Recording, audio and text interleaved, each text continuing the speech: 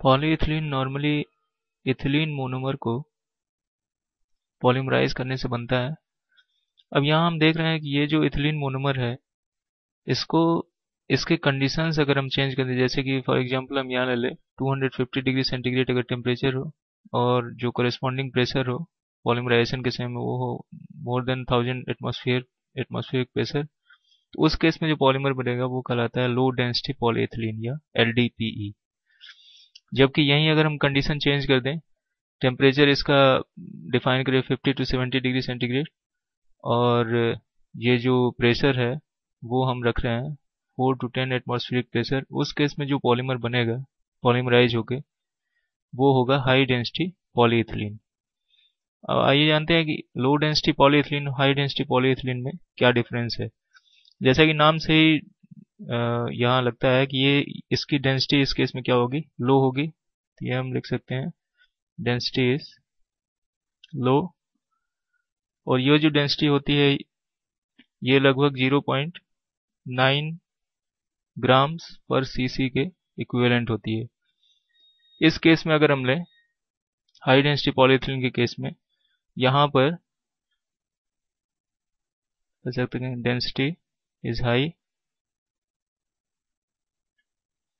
और ये जो डेंसिटी है लगभग 0.95 ग्राम्स पर सीसी के इक्विवेलेंट होती है। सेकेंड अगर हम डिफरेंस लें दोनों में तो ये होगा क्रिस्टलिनिटी इस केस में लो डेंसिटी के केस में जो क्रिस्टलिनिटी होती है, वो लो होती है। लो क्रिस्टलाइन और ये जो लो क्रिस्टलिनिटी है, ये लगभग अराउंड 40 परसेंट के रेंज में होती है। जबकि ये जो हाई डेंसिटी पॉलीथिलीन है, इस केस में क्रिस्टलिनिटी जो होगी, वो हाई होगी और ये होती है 90 परसेंट के रेंज में। यहाँ सॉफ्टनिंग टेम्परेचर जो है, वो भी डिफरेंट है तीनों, दोनों का। ये है around two one hundred twenty degree centigrade low density polyethylene के केस में, जबकि हाई डेंसिटी पॉलीथिलीन के केस में ये सॉफ्टनिंग टेम्परेचर रेंज करता है 145 डिग्री सेंटीग्रेड ये एक बहुत ही अच्छा इंसुलेटर है इलेक्ट्रिसिटी का.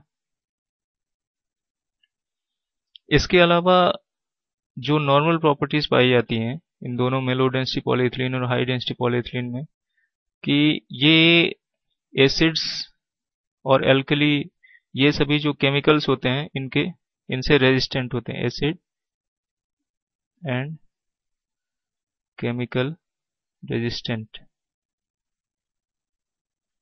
और ये अच्छे इंसुलेटर भी हैं इलेक्ट्रिसिटी के।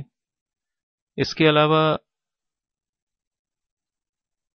ये जो क्रिस्टलिनिटी है हाई डेंसिटी पॉलीथिलीन की, ये यूज़ की जाती है उन केसेस में जहाँ हमें कुछ टफनेस की ज़रूरत होती है। जैसे हमें पता है कि low density polythene normal polythene जो हम यूज़ करते हैं, वहाँ यूज़ किया जाता है, जबकि पैकेजिंग के लिए अच्छे क्वालिटी के जो पॉलीथीन यूज़ किए जाते हैं, वो सभी होते हैं हाई डेंसिटी पॉलीथिलीन पॉलीथिलीन के यूजेज अगर हम देखें तो ये हम कह सकते हैं कि ये यूज़ किया जाता है बॉटल कैप्स बनाने में. बोटल कैप्स ट्वाइस ट्वाइस बनाने में यूज़ किया जाता है। इसके अलावा मेजर जो यूज़ है उसका ये है seeds for packaging seeds for packaging और पॉली बैग्स हमें पता ही है। पॉली बैग्स में नॉर्मली हम पॉलीथिलीन्स का यूज़ करते हैं।